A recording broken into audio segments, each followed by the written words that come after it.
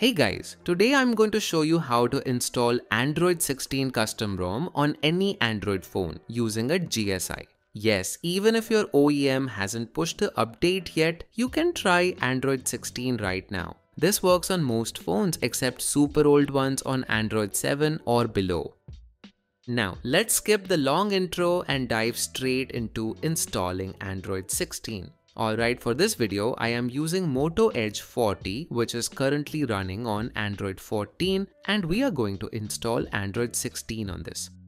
First things first, we need to make sure the device is compatible with GSI. So, download and install Treble Info app from the description link. Once it's installed, open the app and tap on View Details. At the top, you'll see the project Treble status. If it says supported, your phone can run Android 16 custom ROM. If it says not supported, unfortunately, you cannot install Android 16 ROM.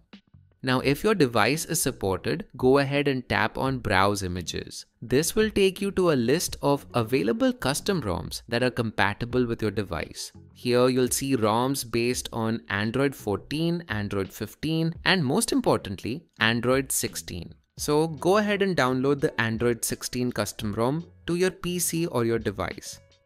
The download has started and while we wait, let's take care of an important step, enabling USB debugging. Let me quickly enable developer options first. This just takes a few seconds. Once enabled, open developer option. Here, make sure your bootloader is unlocked because that's the only major prerequisite for this method to work. If your bootloader isn't unlocked, no worries. I've made detailed videos for most devices. All the links are in the description. Once unlocked, come back and enable USB debugging. This is essential for flashing the Android 16 via ADB. Once that's done, let's go ahead and connect the device to the PC and move the downloaded GSI file to your computer. When you plug in your device, you'll see a prompt asking for USB debugging permission. Just tap on allow and you're good to go. Alright, here we have our Android 16 ROM file and you'll also need to download the latest platform tools. I've dropped the link for that in the description below. Once both files are downloaded, go ahead and extract them to a folder on your PC. After extraction, feel free to delete the zip files just to keep things clean. Now open the platform tools folder. This is where you'll find all the important files like ADB and fastboot. We need to open command prompt here, click the address bar, type cmd and hit enter. The command prompt opens in the folder. Now let's check the connection. In the command prompt, type ADB devices and press enter. If you got the serial number, which means the device is connected. Now type ADB reboot bootloader and hit enter. Your phone will reboot into fast boot mode in about 10 to 15 seconds.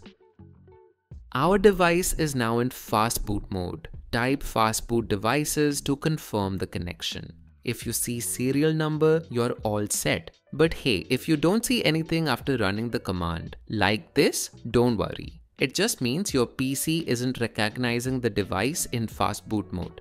In that case, you'll need to install the proper USB drivers for your specific device. I'll try to link drivers for most popular phones in the description below. Just download and install the correct one for your phone, then try the fastboot devices command again. Once device is connected in fastboot mode, next type the command fastboot reboot fastboot. This will reboot your device into fastboot D mode, which is required for flashing the GSI. And yes, our device is now booted into fastboot D mode. First, we need to erase the system partition, so go ahead and type fastboot erase system. Now, if you get an error here, don't panic. This is actually common on many devices that use dynamic partitions. Instead of erasing the system directly, we'll delete the logical product partition. So go ahead and, and run this command.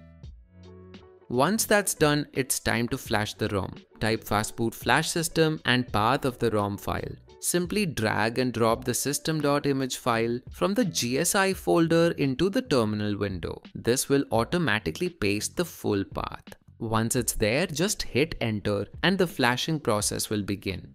Alright, the ROM is now flashing. This process might take a few minutes, so I'll just fast forward this part to save your time.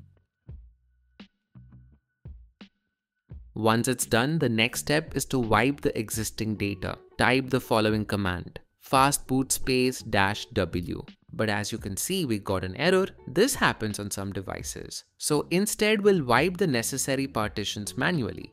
Go ahead and type the following commands one by one. Fastboot erase user data and then fastboot erase metadata. This will wipe your personal data and reset everything on the user data partition. Now we need to flash VB meta image. This step is optional and only required for some devices. Now type fastboot reboot bootloader. This reboots your phone from fastboot D mode to regular fastboot mode, which is required to flash the VB meta image. The VB meta file is already included in the GSI folder. To flash it, run this command along with the vbmeta file path. Just drag and drop the vbmeta image file into the terminal and hit enter.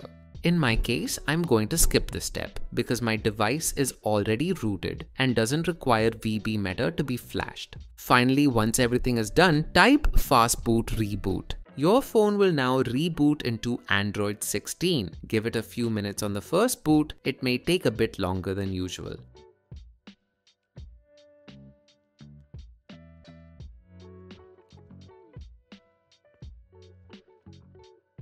Alright, the device has now booted into Android 16. Let me quickly go through the setup process and fast forward it for you.